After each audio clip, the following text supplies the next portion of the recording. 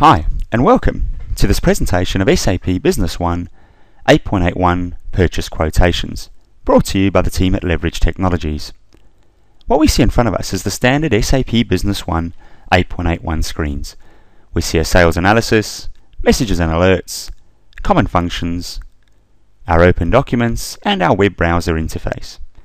What we're going to focus on today is within Purchasing AP, we're going to look at purchase quotations. This is great new functionality brought to us from the team at SAP under version 8.81. Let's open up purchase quotations.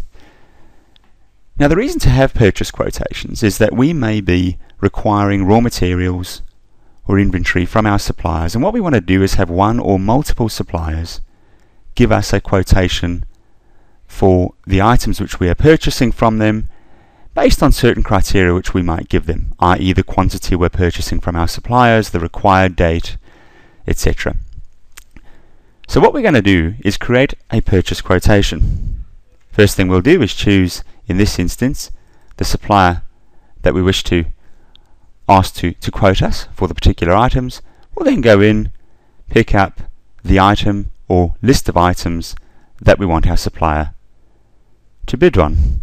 We'll put in a required date, so let's just click on the little calendar and say we want it next week on the 12th, and we want 100. We can obviously put text in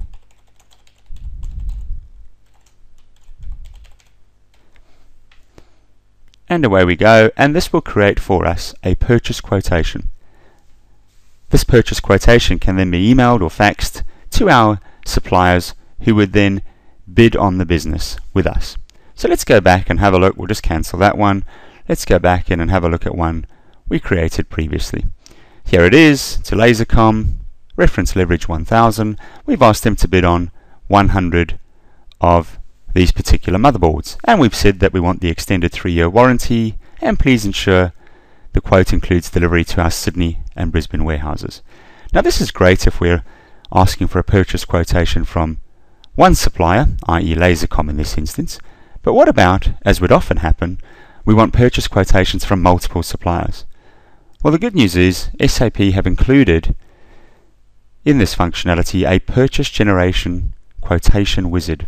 The way this wizard works is that it allows us to create multiple purchase quotations to go to various suppliers. So let's have a quick look at that functionality.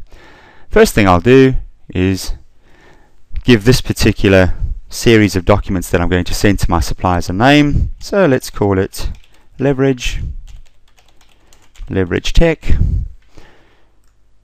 And the wizard will lead us through a series of steps. So let's say, for example, here that we want once again to look at the motherboard, the P4 Turbo. We put in again our required date, which is going to be the 12th. We want 100. We've got some other fields which need to go in here. For example, valid until dates. So let's put that in. Now, what we can do at this point in time is, let's just go next. We have one particular supplier who's currently going to receive our documentation for a purchase quotation. However, what we want to do is add in multiple suppliers. We simply add another row. We pick up a, another supplier and we pick up, so that we're comparing like for like, we'll pick up the same motherboard. We'll say we want 100 of, and we want it, we can choose a warehouse obviously, but we'll choose it for the same date. What will now happen is that in this instance, two suppliers, both Lasercom and Far East Imports, will receive from Leverage Technologies a request to put in a quotation for delivery of those particular motherboards. And we can go through and create those documents which will then be emailed, faxed, or sent to our suppliers or potential suppliers. The other great news is SAP have included some standard reporting.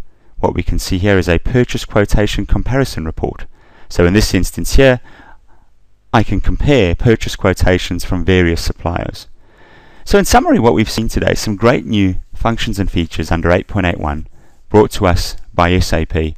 And what we're doing in this functionality is putting out purchase quotations to our suppliers, one or multiple suppliers across one or multiple items that we're asking them to supply to us by particular dates and based on particular quantities, and we're asking our suppliers to bid on that business with us.